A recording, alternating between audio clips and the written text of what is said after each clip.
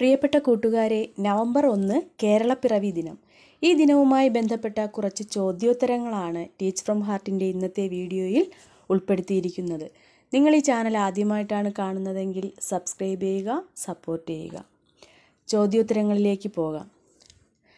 കേരള സംസ്ഥാനം നിലവിൽ വന്ന വർഷം ഏത്? ഒന്നാമത്തെ ചോദ്യം ഏതാണ്? കേരള സംസ്ഥാനം നിലവിൽ വന്ന വർഷം. ആയിരത്തി തൊള്ളായിരത്തി അൻപത്തി ആറ് നവംബർ ഒന്ന്. ആയിരത്തി തൊള്ളായിരത്തി അൻപത്തി ആറ് നവംബർ ഒന്നിനാണ് കേരള സംസ്ഥാനം നിലവിൽ വന്നത്. രണ്ടാമത്തെ ചോദ്യം കേരളത്തിന്റെ ഔദ്യോഗിക പുഷ്പം ഏതാണ്? ഏതാണ് നമ്മുടെ കേരളത്തിന്റെ ഔദ്യോഗിക പുഷ്പം? കണിക്കൊന്ന.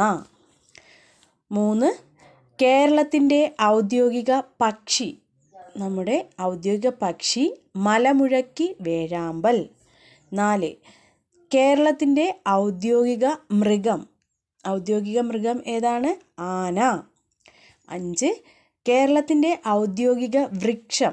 ഔദ്യോഗിക വൃക്ഷം എന്ന് പറയുന്നത് തെങ്ങാണ്. തെങ്ങ്. കേരളത്തിന്റെ ഔദ്യോഗിക ഫലം ഏതാണ്? ചക്ക. ചക്കയാണ് നമ്മുടെ ഔദ്യോഗിക ഫലം. അതുപോലെ ഏഴാമത്തെ ക്വസ്റ്റ്യൻ എന്ന് പറയുന്നത് കേരളത്തിന്റെ ഔദ്യോഗിക മത്സ്യം. നമ്മുടെ ഔദ്യോഗിക മത്സ്യം കരിമീൻ. എട്ടാമത്തെ ചോദ്യം കേരളത്തിന്റെ തലസ്ഥാനം. കേരളത്തിന്റെ തലസ്ഥാനം ഏതാണ്? തിരുവനന്തപുരം. ഒൻപതാമത്തെ ചോദ്യം കേരളത്തിലെ ആകെ നദികളുടെ എണ്ണം നാൽപ്പത്തി നാല് നാൽപ്പത്തി നാല് നദികളാണ്. പത്താമത്തെ ചോദ്യം കേരളത്തിലെ ഏറ്റവും വലിയ ജില്ല. കേരളത്തിലെ ഏറ്റവും വലിയ ജില്ല പാലക്കാട്. പതിനൊന്ന് കേരളത്തിലെ ഏറ്റവും കുറവ് വനപ്രദേശമുള്ള ജില്ല. ആലപ്പുഴ. ആലപ്പുഴയാണ് കേരളത്തിലെ ഏറ്റവും കുറവ് വനപ്രദേശമുള്ള ജില്ല. പന്ത്രണ്ട് കേരളത്തിലെ ഏറ്റവും കൂടുതൽ ജനസംഖ്യയുള്ള ജില്ല ഏതാണ്? മലപ്പുറം. പതിമൂന്ന് കേരളത്തിൽ തീരപ്രദേശമുള്ള ജില്ലകളുടെ എണ്ണം എത്രയാണ്? ഒൻപത്. പതിനാല് പതിനാലാമത്തെ ചോദ്യം. കേരളത്തിൽ ഏറ്റവും അവസാനം രൂപം കൊണ്ട ജില്ല ഏതാണ്? കേരളത്തിൽ ഏറ്റവും അവസാനം രൂപം കൊണ്ട ജില്ല കാസർഗോഡ്. പതിനഞ്ച്. കേരളത്തിലെ പ്രധാനപ്പെട്ട മണ്ണിനം ഏതാണ്? കേരളത്തിലെ പ്രധാന മണ്ണ് ലാറ്ററൈറ്റ് മണ്ണ്. പതിനേഴ്. കേരളത്തിന്റെ സാംസ്കാരിക തലസ്ഥാനം എന്നറിയപ്പെടുന്ന ജില്ല ഏതാണ്? കേരളത്തിന്റെ സാംസ്കാരിക തലസ്ഥാനം തൃശ്ശൂർ പതിനേഴ് കേരള ഭാഷാ പ്രതിജ്ഞ എഴുതിയ വ്യക്തി ആരാണ്? M D Vasudevan Nair. പതിനെട്ടാമത്തെ ക്വസ്റ്റ്യൻ. കേരളത്തിലെ ഏറ്റവും കുറവ് കടൽ തീരമുള്ള ജില്ല. ഏതാണ് കേരളത്തിലെ ഏറ്റവും കുറച്ച് കടൽ തീരങ്ങളുള്ളത് കൊല്ലം. പത്തൊൻപതാമത്തെ ചോദ്യം. കേരളത്തിലെ ആദ്യത്തെ മുഖ്യമന്ത്രി ആരായിരുന്നു? കേരളത്തിലെ ആദ്യ മുഖ്യമന്ത്രി ഇ എം എസ് നമ്പൂതിരിപ്പാട്. ഇരുപത്. കേരളത്തിലെ ആദ്യത്തെ ഗവർണർ ആരായിരുന്നു? ആദ്യ ഗവർണർ ബി രാമകൃഷ്ണ റാവു. ഇരുപത്തിയൊന്നാമത്തെ ചോദ്യം. കേരള ഗ്രന്ഥശാല സംഘത്തിന്റെ സ്ഥാപകൻ ആരായിരുന്നു? കേരള ഗ്രന്ഥശാല സംഘത്തിന്റെ സ്ഥാപകൻ പി എൻ പണിക്കർ. ഇരുപത്തി രണ്ടാമത്തെ ചോദ്യം. കേരളത്തിൽ ഏറ്റവും കൂടുതൽ മഴ ലഭിക്കുന്ന മാസം ഏത്? ജൂലൈ. ഇരുപത്തിമൂന്ന്. കേരളത്തിൽ ഏറ്റവും കുറവ് മഴ ലഭിക്കുന്ന മാസം ഏതാണ്? ജനുവരി ഇരുപത്തിനാല്. കേരളത്തിലെ ആദ്യത്തെ നിയമസഭാ സ്പീക്കർ ആദ്യ നിയമസഭാ സ്പീക്കർ ആരായിരുന്നു? ആർ. ശങ്കരനാരായണൻ തമ്പി. ഇരുപത്തിയഞ്ച്. കേരളത്തിൽ സാക്ഷരതയിൽ മുന്നിൽ നിൽക്കുന്ന ജില്ല കേരളത്തിൽ സാക്ഷരതയിൽ മുന്നിൽ നിൽക്കുന്ന ജില്ല കോട്ടയം. ദൈവത്തിന്റെ സ്വന്തം നാടെന്നറിയപ്പെടുന്ന സ്ഥലം. ഇരുപത്താറാമത്തെ ചോദ്യം. കേരളത്തിന്റെ ദൈവത്തിന്റെ സ്വന്തം നാടെന്നറിയപ്പെടുന്ന സ്ഥലം കേരളം.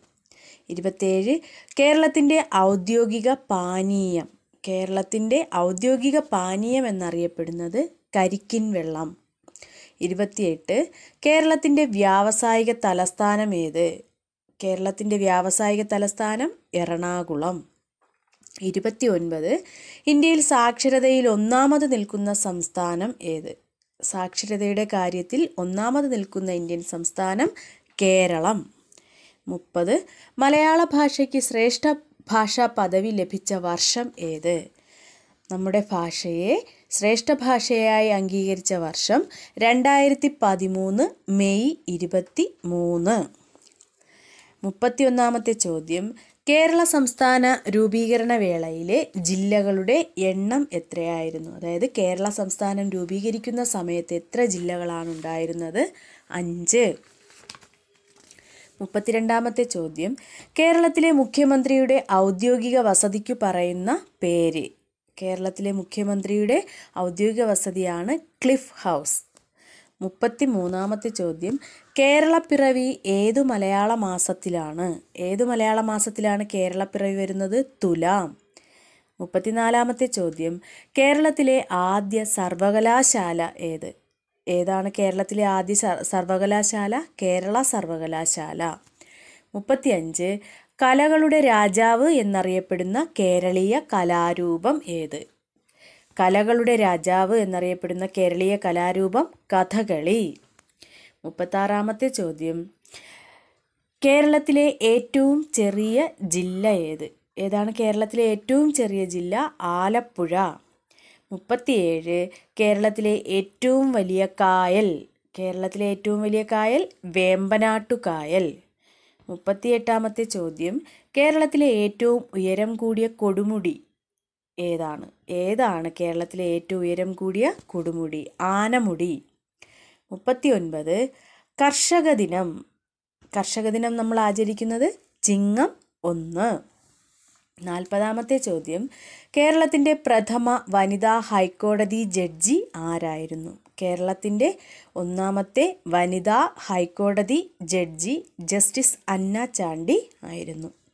നാൽപ്പത്തി ഒന്നാമത്തെ ക്വസ്റ്റ്യൻ കേരളത്തിലെ റോക്കറ്റ് വിക്ഷേപണ കേന്ദ്രം എവിടെയാണ് കേരളത്തിലെ റോക്കറ്റ് വിക്ഷേപണ കേന്ദ്രം ഏതാണ്? തുമ്പ നാൽപ്പത്തി രണ്ട് കേരളത്തിന്റെ കിഴക്കേ എതിരായ പർവതനിര ഏതാണ്? കേരളത്തിന്റെ കിഴക്കേ എതിരായ പർവതനിര പശ്ചിമഘട്ടം.